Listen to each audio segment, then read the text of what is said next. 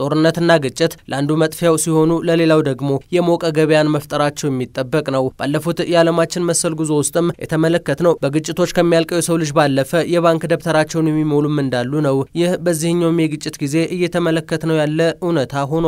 እስራኤል ከሐማስ አረግብ ያለው የሁለቱ አካላት ፍጥጫ ለበርካቶች የደም ግብር መሆኑ ሲቀጥል እንደ አሜሪካና ድርጅቶች ላሉቱ ግን የካዝና ማሞቂያ እየሆነ መጥቷል። በተለይ ሀገሪቱ አጋሬ ነች ለምትለው እስራኤል የምትሰጠው መሳሪያ እንዲሁ በዋዛ ላለመሆኑ አሁን አሁን መረጃዎች በመውጣት ላይ ይገኛሉ። ዘ አናሊስት ይዞት በወጣው መረጃ እንዳለው በጦርነት ውስጥ ሁነኛ አጋፋሪ ለመሆን የሚጥሩ አካላት አሁን ላይ የሐማስ እስራኤልን ግጭት ሁነኛ የገቢ ማግኛ እያደረጉት ይገኛሉ። ጉዳዩን የከፋ የሚያደርገው ደግሞ ራሱ አሜሪካ ሳትቀር ነገሩን እያወቀች በዝምታ ማለፏ ነው። እንደ ሀገር አሜሪካ ከጦርነቱ ጅማሮ አንስቶ እስራኤልን በመደገፉ ረገድ ቀዳሚ መሆን የቻለች ሲሆን በእያንዳንዱ የሀገሪቱ ፍላጎት ውስጥም ቀድማ በመገኘት አጋርነቷን አሳይታለች። በተለይ እስራኤል የበዛው ቀሳ ባጋጠማት ጊዜ እንኳ የአጋርነቷን ጥግ ነገሮች ሰከን እንዲሉ እስከ ማድረግ የተጓዘችበት ርቀት ይጠቀሳል። ይህ ለባይደን አስተዳደር የበዛ ጥርስ እንዲነከስበት ከማድረግም ባለፈ አቋም የለውም እስከ ማስባል አድርሶታል። ያም ቢሆን ግን አሜሪካ ከወቀሳዎች ጀርባ ያለውን የጥፋት ሁኔታ በአንድም በሌላ የይለፍ ወረቀት ስትሰጥ ቆይታለች ማለት ይቻላል።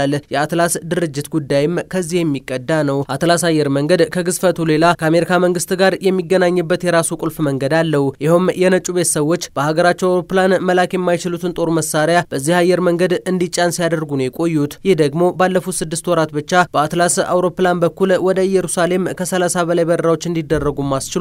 በሚሊዮን የሚቆጠር ዶላር ዋጋ የተለጠፈባቸው ጦር መሳሪያዎችም በዚሁ አየር መንገድ በኩል ተጓጉዘው እዚያ ደርሰዋል።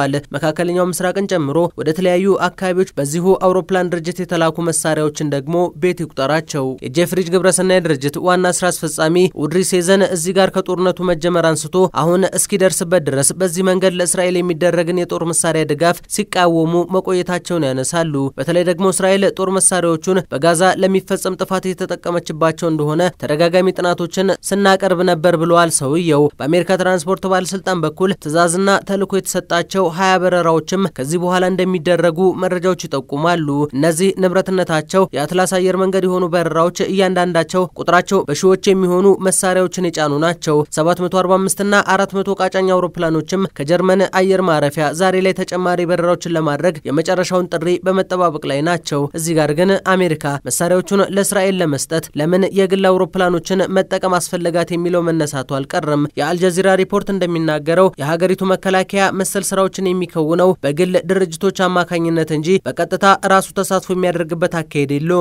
ባለፉት አስር ወራት ብቻ ከመቶ በላይ እቃ የጫኑ በረራዎችም የተደረጉት በግል አየር መንገዶች እንጂ በጦሩ አልነበረም። አንድ ሺ ፓውንድ የሚከብዱ ቦምቦችና ተተኳሽ መሳሪያዎች፣ አምስት መቶ ፓውንድ ደግሞ በጥቃት መጠናቸው የገዘፉ ተቀጣጣይ መሳሪያዎች በዚህ ውስጥ ስጦታ ለእስራኤል የተበረከቱ መሳሪያዎችም ናቸው። የቀድሞ የአሜሪካ ባህር ኃይል አባልና አሁን ለራንድ ምርምር ተቋም የሚሰራው ካፕቴን ብራድሊ ማርቲን ሀሳቡን ሲጽፍ አትላስ የመሳሪያ ማጓጓዙን እንዲሰራ የተደረገበት ምክንያት በጦርነት ውስጥ መሰል ስራዎችን በመስራቱ ረገድ ልምድ ያለው ድርጅት ስለሆነ ነው ብሏል። በንግድ በረራዎች ከሚደረገው የመሳሪያ ማጓጓዝ በላይም ይሄው ድርጅት ለመሰል ስራዎች ትኩረቱ ላቅ ይላል።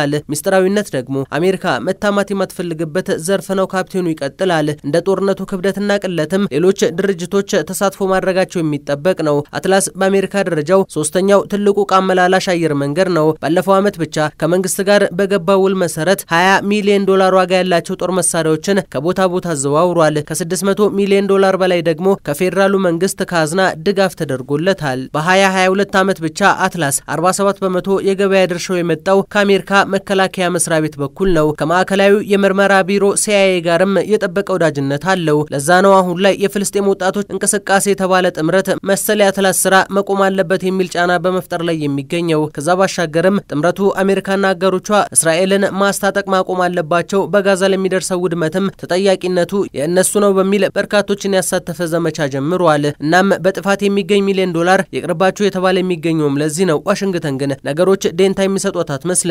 ከራሱ አልፋ የግል ድርጅቶችም በጥፋት ውስጥ እንዲያልፉ ማድረጓን ቀጥላለች። ተንታኞች ያነሳሉ። ጭፍናዊ ጉዞ የተባለውም ለዚሁ ነው።